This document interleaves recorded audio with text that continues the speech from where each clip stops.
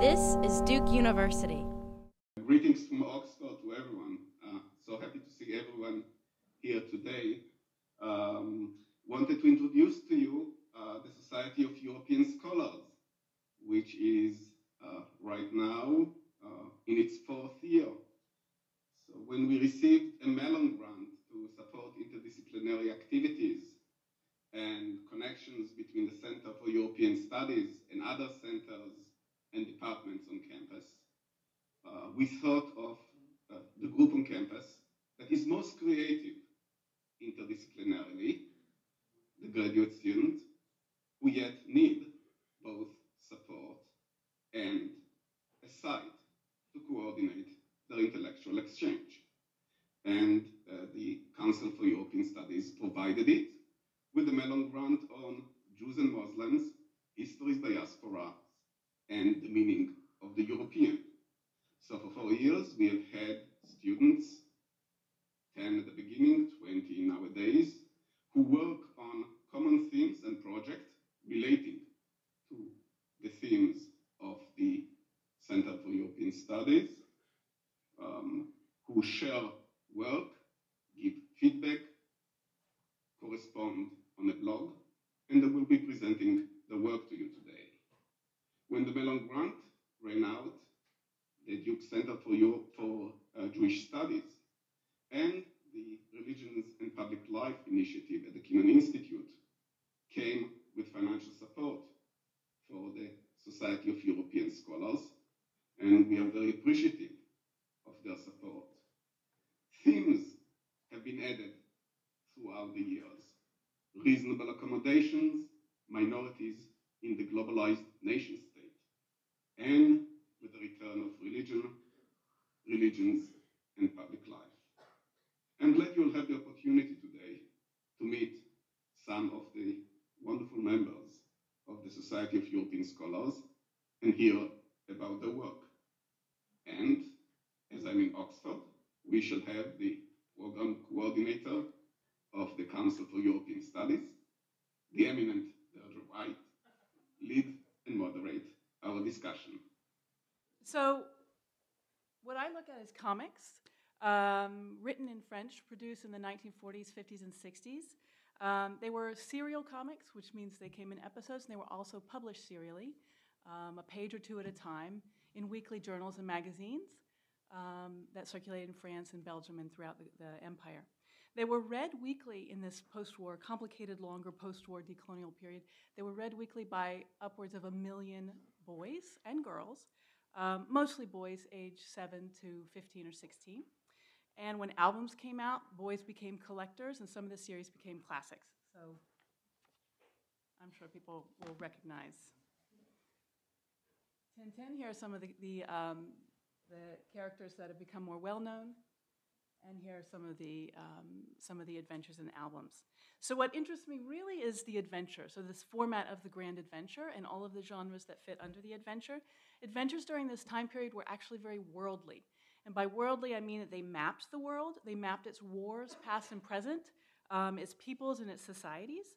And they commented, because they were popular literature, they were able to comment, they needed to comment on what was going on. So they commented on Reconstruction in the Cold War, they commented on modernization, and of course, decolonization. Um, in terms of messaging, if this is even really uh, something we can still talk about today, um, they were colonialist and imperialist, of course. Um, but there were also communist uh, magazines um, with communist leaning um, uh, adventures. A lot were apologist in certain ways, uh, but many were unclear. So you had image and you had text, and they both combined to do different things or to do separate things at the same time, and you could read them in very different ways. Um, what interests me specifically is the Western. So the one vein of Westerns, we know what Westerns are, but one vein is cowboy and Indian stories. Um, so Westerns generally tell tales of 19th century imperial expansion in the United States towards the West, uh, towards the Pacific.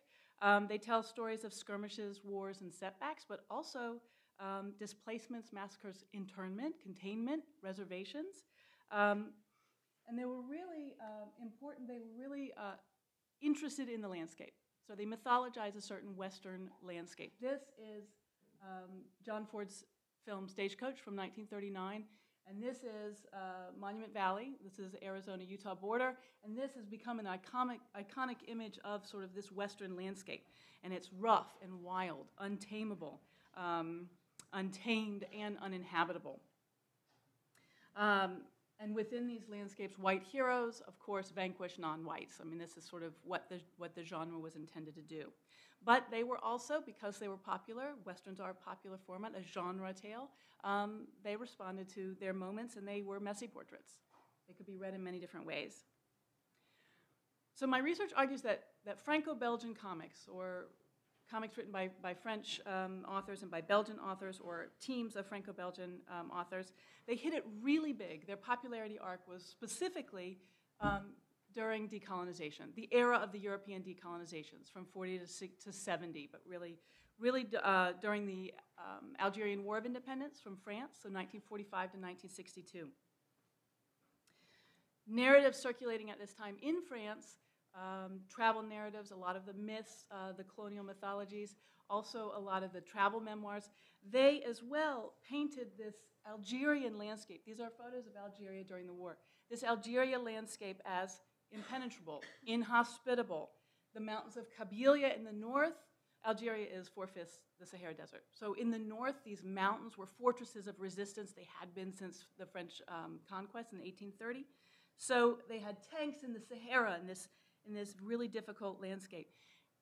And also, the way the war unfolded had a lot to do with this, this, this type of landscape.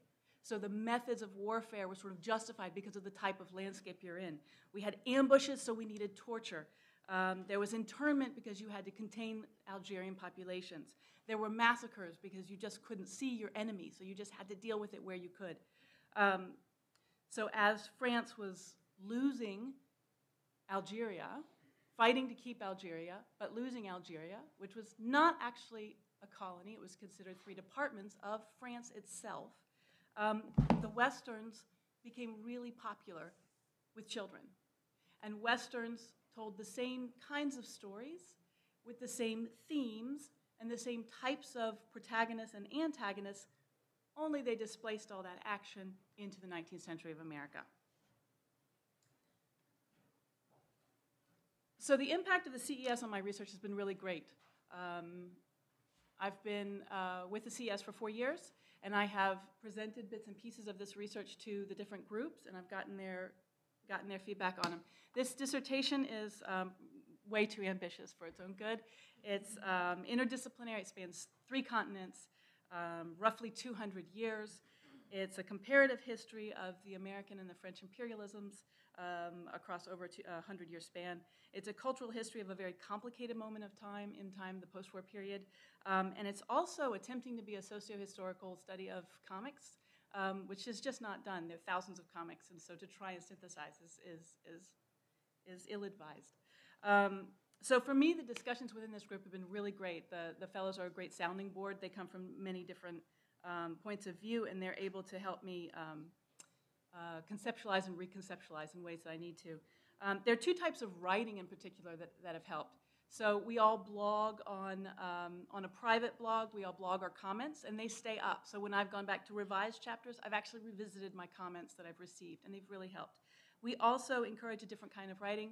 We do write-ups on public websites of the events and, and the conferences that are hosted by the CES. So that, that enables us to, um, to listen to to listen to talks outside of our own very narrow um, interests and where we feel comfortable to step outside of our, our comfort zone and to be able to comment um, as sort of better academic citizens as, and also as public intellectuals. So that's, I think, uh, a real strength of the CES. Thank you. All right, thank you, Eliza. Um, next, we have Nura Sadiq. She is a PhD candidate in political science, specializing in behavior and identities. She is also completing her certificate in African and African American studies. Prior to Duke, Nura worked with this, within the civil rights field and attained her Master in Public Policy from Harvard's Kennedy School of Government. Her dissertation research focuses on how identity influences political behavior for Muslim Americans.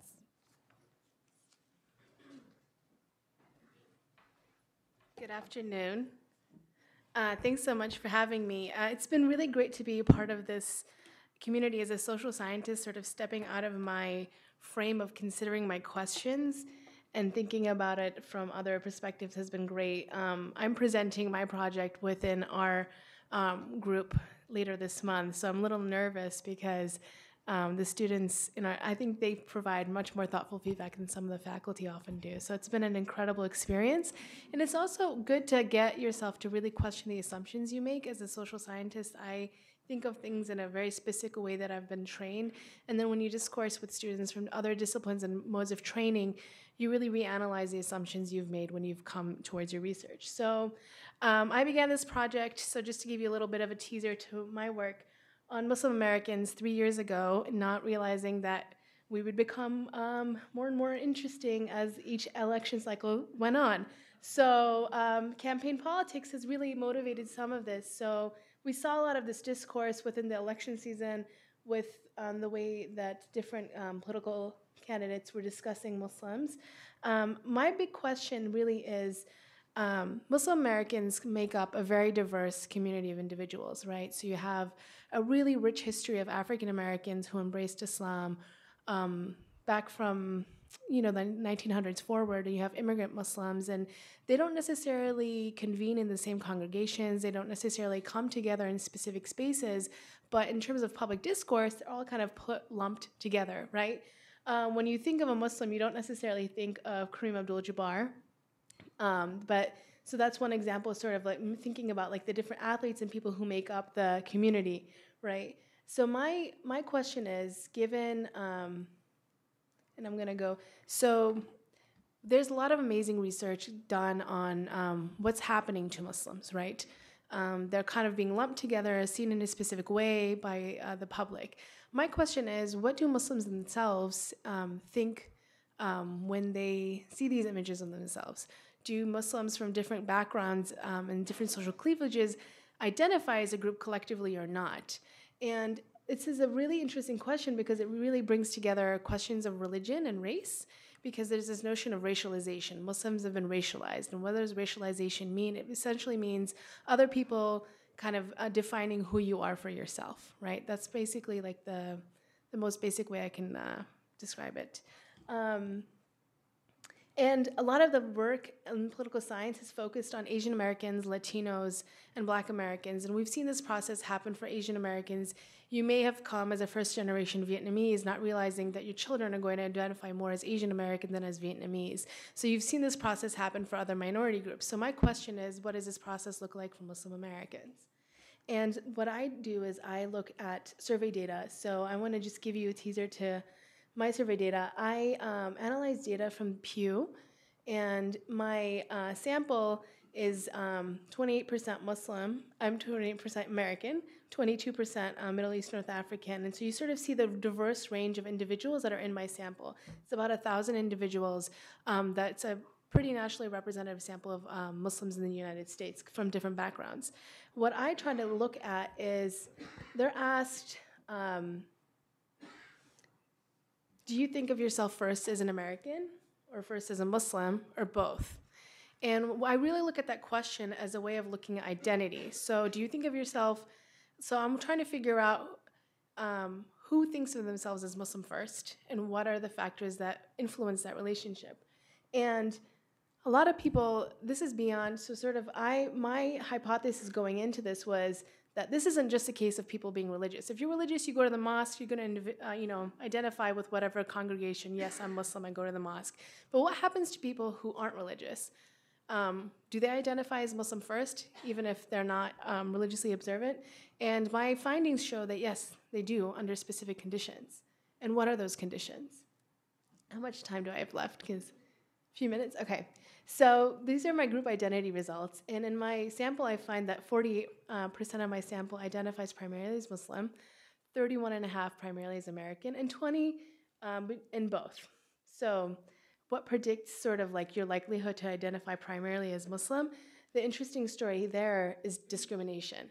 So they're asked six um, questions. Did you experience discrimination walking outside? They're given a battery of questions. And what I find is that if you've went through an experience of discrimination just once, your likelihood to identify exclusively as Muslim is statistically significant, which like that's the buzzword for political scientists. If your p-value is at a specific way, you're like doing, you know, you're dancing. It's, but it's um, it's really interesting because it's not like an individual that's experienced it multiple times. It just takes one experience of discrimination for someone to go from seeing themselves as oh both American and Muslim to you know what I'm just Muslim.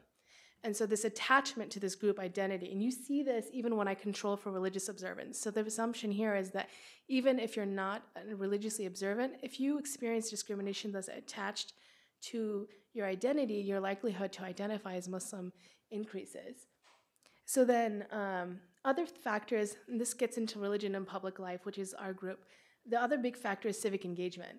So um, for those who uh, participate within civic activities, the likelihood to identify as Muslim and, and, American collectively as both increases. So the more you're engaged in public life, the more you kind of see yourself as both. You're not exclusively Muslim or exclusively American. You're sort of like this camp in the middle and you're reconciling both. So it's interesting to see what engagement in public life does to one's identity.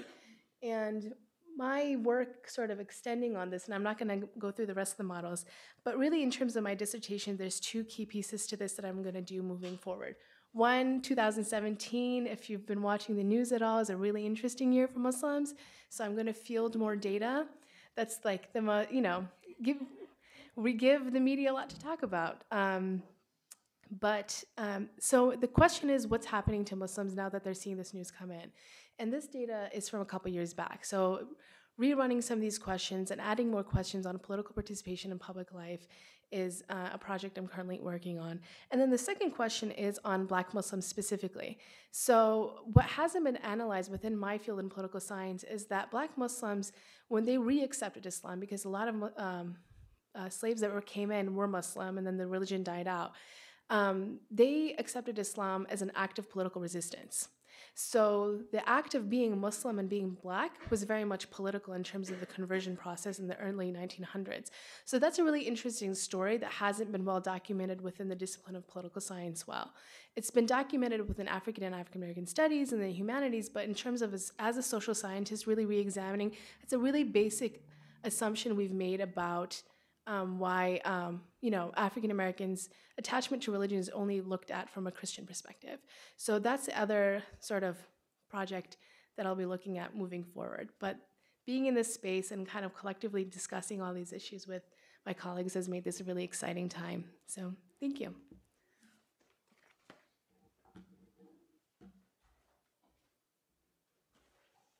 Thank you, Nura.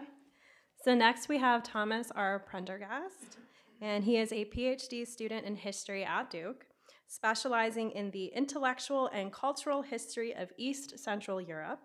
His work explores the political, philosophical, and artistic spheres in which Europe's peripheries, East Central as well as Southern Europe, sought around the turn of the 20th century to challenge prevailing notions of modernization and developmental abnormality.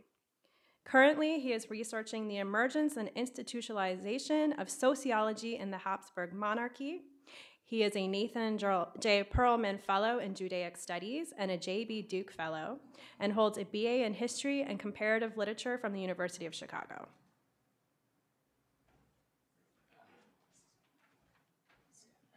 Um, hi, so thank you all for coming out. Um, so I'm going to talk about my project. I'm also going to talk about uh, interdisciplinarity and how that plays out in, um, in our two groups.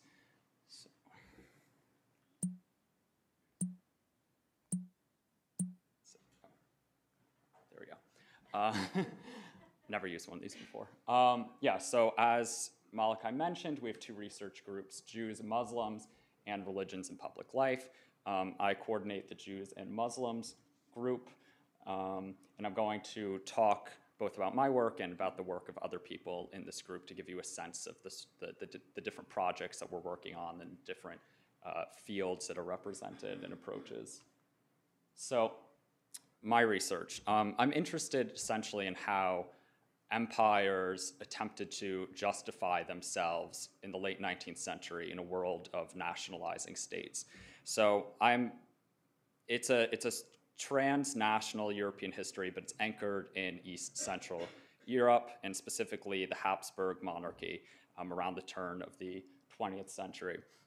And I'm particularly interested in how social scientists attempted to explain um, the emergence of, of states and what that means for um, these multinational empires like the Habsburg monarchy, like Russia, like the Ottoman Empire.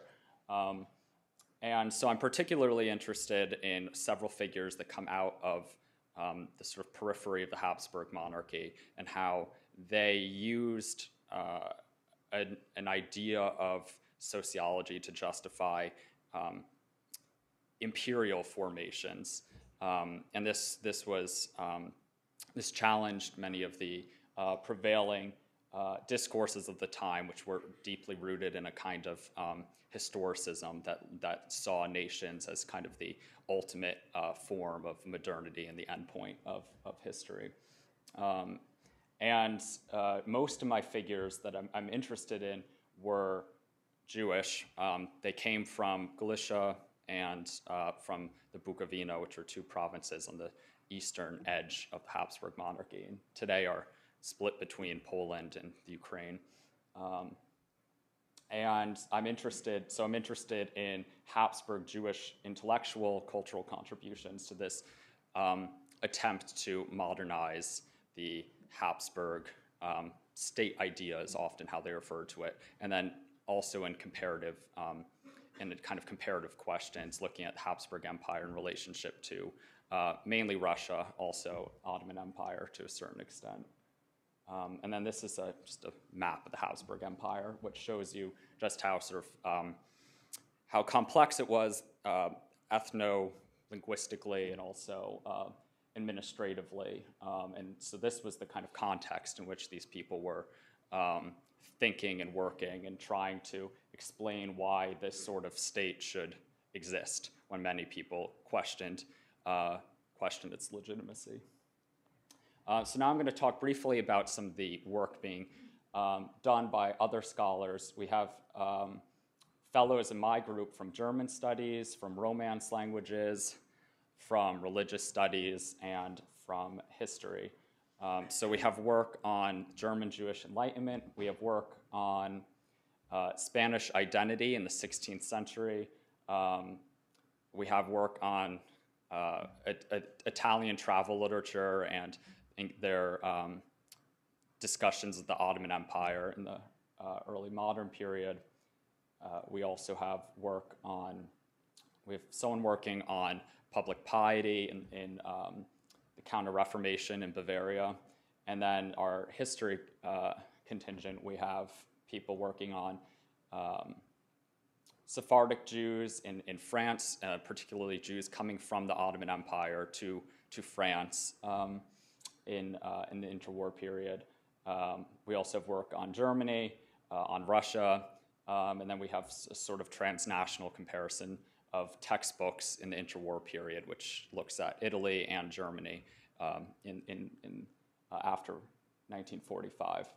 So, uh, so what does this scholarly collaboration uh, do for us? So having people from these different backgrounds and disciplines come together we, uh, we enjoy interdisciplinary approaches to the same time period or same place, people coming from history versus from religious studies, even if they're talking about the same country um, and same time period roughly, it brings a whole different perspective. Um, and so in addition to people working on these sort of transnational um, or trans-regional projects, uh, having people come together uh, allows you to kind of expand your horizons, as some of us have already talked about, um, to, to allows you to, to make those sorts of comparisons or expand your research beyond a given national or regional context. And um, third, there's, um, there are a few things that, um, at least in the Jews and Muslims group, that we uh, share in common thematically. Um, there's a shared interest in social scientific discourses of modernity, um, there's a shared interest in the transition from empires to nation states and how that relates to um, religion and ethnicity and the relationship between religion and ethnicity.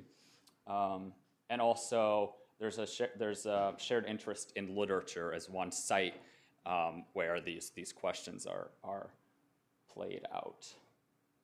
So, thank you.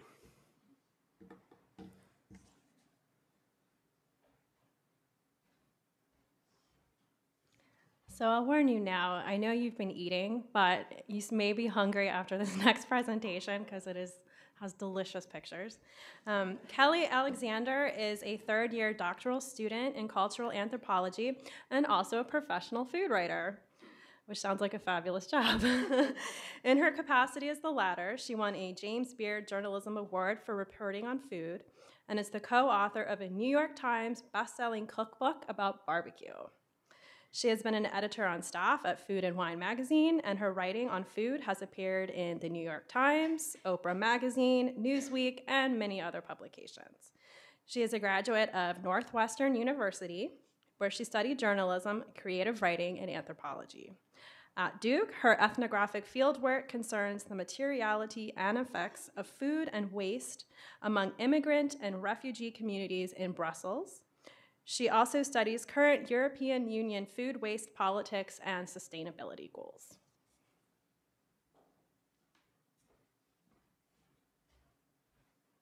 Thanks for having me. Um, I always put the food person last, always.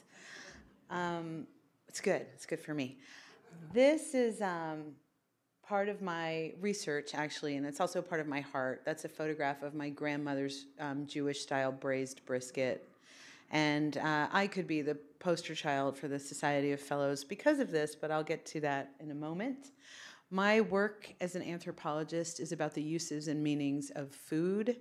Uh, I have a background as a food journalist, as Deirdre just mentioned, and before that, I was trained as an anthropologist as an undergraduate. So I actually thought when I was a food reporter that I was being an anthropologist. All of the people in my department here would argue with you, but that was the idea I had in the back of my mind when I went and reported food stories is that I was doing a kind of anthropology. And so when I left the journalism world and came back into the academy to pursue anthropology more fully, I wanted to study the value of food, how food acquires value and for whom. So most people in the world of food who study cuisine in any way study in Europe, the cradle of cuisine, where it was born and where it thrives. Not only, but especially. So, this is me doing my first uh, summer of field work. I work in a restaurant in Brussels called Le Truffe Noir. It's one of the only truffle restaurants in the world. Uh, it's incredibly well renowned. I have some training. I've, I'm a graduate of a cooking school in New York. So that allowed me to be able to work in the kitchen as the lowliest chopper of herbs and peeler of carrots. But that is me going to work one day.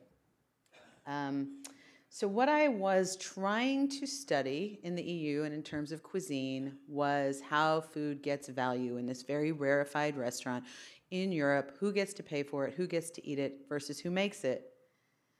And then something happened to me along the way, which is a story that's very familiar in anthropology. While I was looking at that, I became interested very much in something else.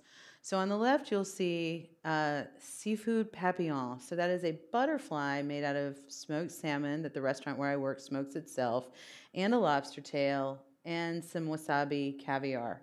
I made that. It took a really long time. It was very hard.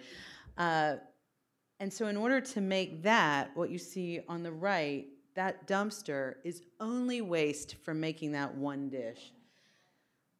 So I became totally fixated on how making that produces that. How the production of haute cuisine necessitates the production of so much waste. And although it's almost impossible to see here, a lot of what is thrown away is perfectly good edible food that in any other context somebody would be quite grateful to receive.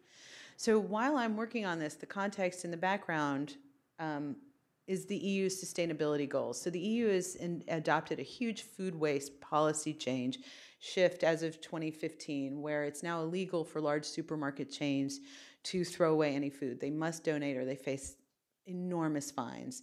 So this policy is going to be extended to restaurants in the near future too, including the one where I work. So this shaped my research entirely, and I began following the waste to see not only waste that gets thrown away in restaurants like the one where I worked, but where supermarket waste was now going. And uh, one of the places it's going is a social restaurant, which is generally a European concept. So this place is a job training program and also a soup kitchen. So it trains chefs who are immigrants and refugees. You know, Europe is facing a tremendous immigrant refugee crisis right now. They can get jobs here, they can get internships and learn how to cook, learn kitchen skills that will make it useful for them to work in the, in the restaurant market in Europe. And then also, it's serving low cost meals to poor and immigrant refugee communities. And then I've also been working at the Federation of Brussels Food Banks, which receives all of those donations of food from supermarkets and restaurants and redistributes them to charities. So, this is what my dissertation is largely about it's mapping edibility who has access to what kind of food in Europe now. So, how this relates to the Society of Fellows is that in practicing the kind of arguments I'd like to make in my dissertation about the value of food, I wrote a paper for the AAA's, the Big Anthropology Annual Conference about brisket, a food I know a lot about, and how the uses and meanings of it can structure a certain migrant experience. So I'm I come from a family of Jewish cooks who settled in the American South after World War II and made brisket. This is the topic of my study. I wrote a very long and involved paper about the history of migrant cuisine for a class I took here called The Politics and Obligations of Memory. And for our purposes, I presented the paper that I wanted to give at the conference, at the AAA conference, to my group, Religion and Public Life, here at the CES.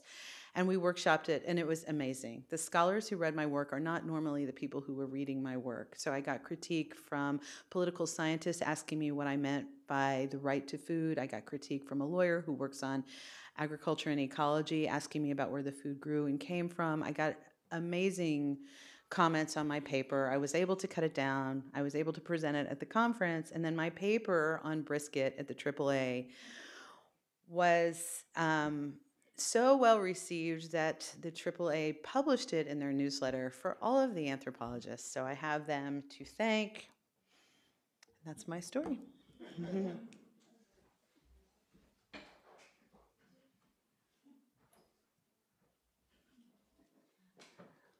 So I'm going to open the floor up to Malachi. I think he wanted to say some final comments about the Society of Fellows and put some things in context in terms of how the group works, and then we'll open the floor up to discussion. Oh no, I, I, I don't have at this point after those absolutely fascinating presentation. I don't have much uh, much to say. I have some questions, but perhaps I mean the audience should start first with the questions. Oh, you know what? Let me start with the questions. so uh, it's it's it's it's also wonderful, right? It's um, but interdisciplinary dialogue is always difficult. I remember when I participated in a faculty group ten years ago of people from different disciplines. I needed to do a lot of translations, and there were lots of animosities in the room because how come people can approach the subject from such a different view?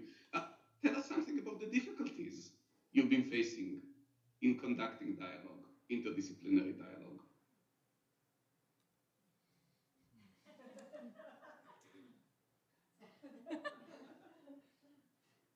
I mean, there's there's often work you have to do up front when you're presenting work to a um, a group of scholars from different disciplines.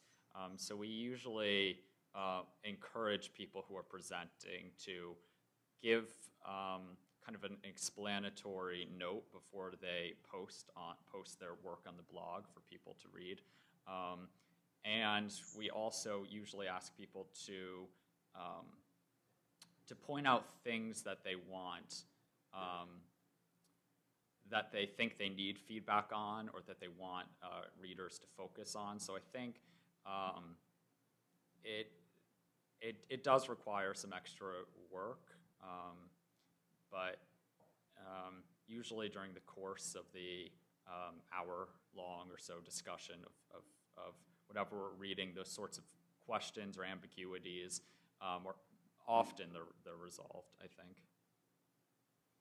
It can be quite challenging to uh, talk to people who don't share the same vocabulary as you or share the same point of reference. Eliza can say to me, if you're talking about brisket as an ideological state apparatus, why don't you say Althusser? And I can say to her, how can you possibly write this paper about French comics and not have Levi Strauss? How can you do that? So those kinds of things do come up, yes. Also, across the four years, we've actually, um, every year we revisit, and, and, and this year we implemented a, a pretty significant change. Last year we had very early career graduate students, MA students, through junior faculty. Um, and we had a large group, between 10 to 14 would attend. Um, and it was too large, it was too unwieldy, and it was too top heavy. So the second and third years got lost in the shuffle. They didn't quite know how to respond to some things. They looked to other people to, uh, as you know, to, to show them the way. Um, they, they struggle with the language on, in commenting. Um, there's a lot of nerves and a lot of insecurities. You don't want to to comment on somebody's paper that's about to be published. So in their own field, it's already gotten a seal of approval as sort of expertise. Um, that was a difficult year. This year, we split it in two, um, according to, according to sort of, we have a lot of overlap actually, but, but we have more focused groups, and they're smaller groups, and I think it's more effective.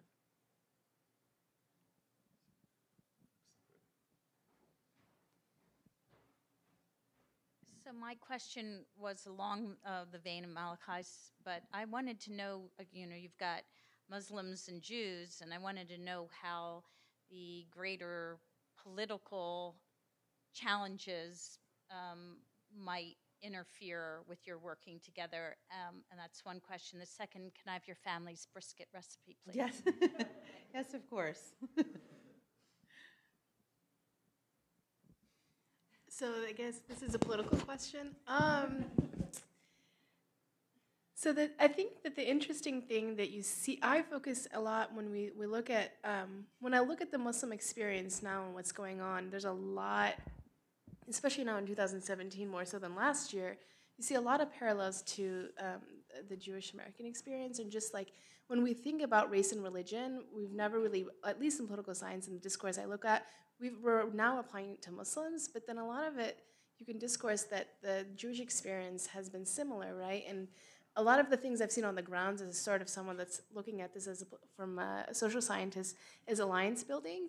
And so the hate crimes that have been happening recently have not just been targeted towards Muslims. I'm from um, Northwest Ohio, and our Jewish Community Center was the first place that actually faced um, like phone calls, writing phone calls, things like that. So then, as a political scientist, I think like what are moments, what are conditions that may bring groups together to form alliances? And so I think that's an interesting question that I think about now that given the current context of what's going on in the U.S. Because I my focus is primarily on American politics. So everything I look at is like what's happening in U.S. politics and how does it affect minority groups in U.S. politics. So I think that the political conditions changing is going to make folks come together and build coalitions. And this whole coalition building literature is not something I'm totally familiar with, but it's going to provide an interesting point of people coming together to build coalitions in ways they may not have done in the past. I can comment really quickly on that too. Um, having seen about 40 people come through here, it's just not it's just not a problem. It's just not even it's not even an undercurrent. Um, I, I would say most of us are interested um, either uh, historically, sociologically, what have you, in the relationship between um, anti Semitism and Islamophobia, both past and present in Europe. So I think we're um, particularly aware of the, um, of the um, long history of, of both anti Semitism and Islamophobia and how they relate to European identity. And I think that perspective um, is um, um, something that, that uh, um, we all share. I think that's right. I think it's not always the same language, but looking at the same sets of problems and issues.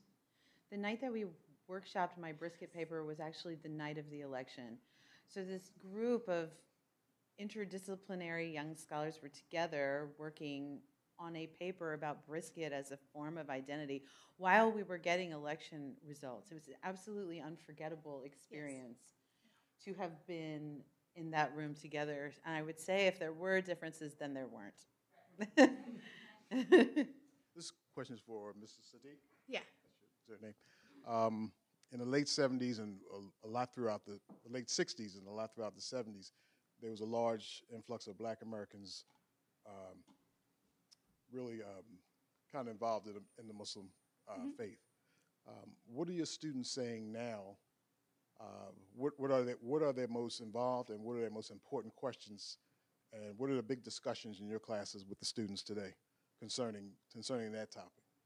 concerning the role of like uh, Black Americans in Right. Islam. Mhm. So right now, in the, one of the most interesting, um, I think, places. It's been two things. Last year, the passing of Muhammad Ali has brought a lot of like conversation about like athletes and politics, and especially Muhammad Ali's legacy. And then uh, I'm TAing the history of hip hop this semester.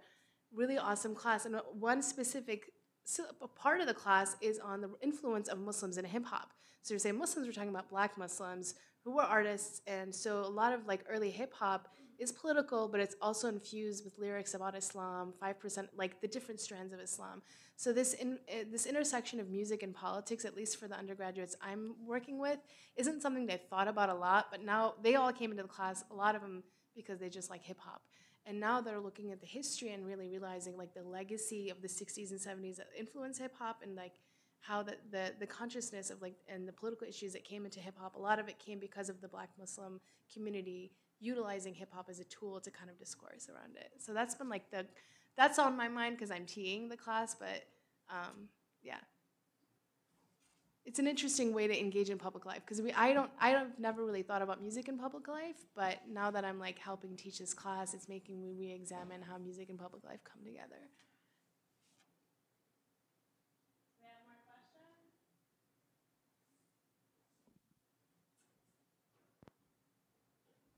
So I will, of course, let our esteemed director close things out. But I do want to say if you want to find out more about our working groups and the Society of Fellows, please do check out our website.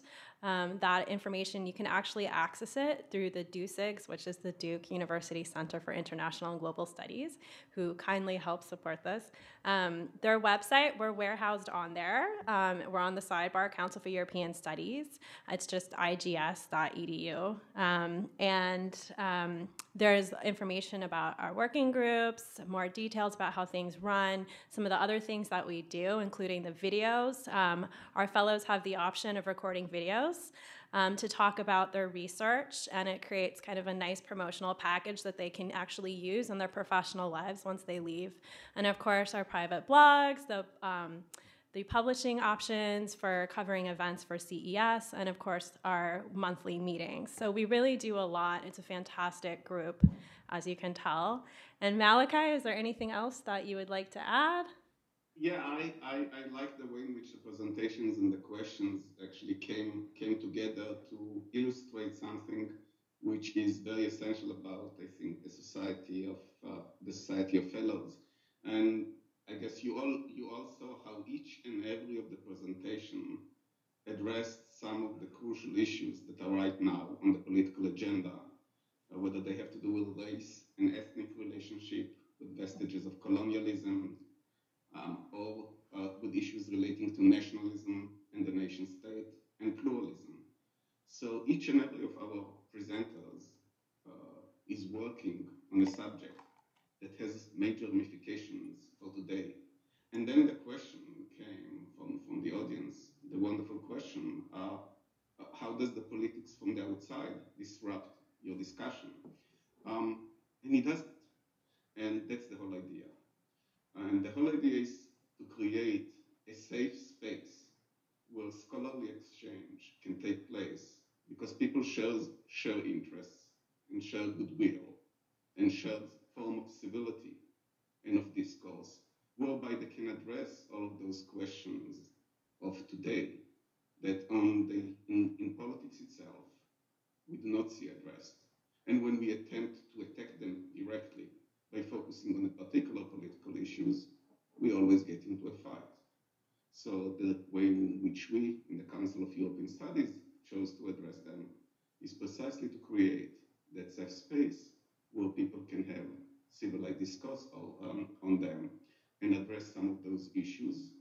And this may be a beginning, an example, and a model for others on how they may imitate the type of wonderful discourse that you saw displayed here today.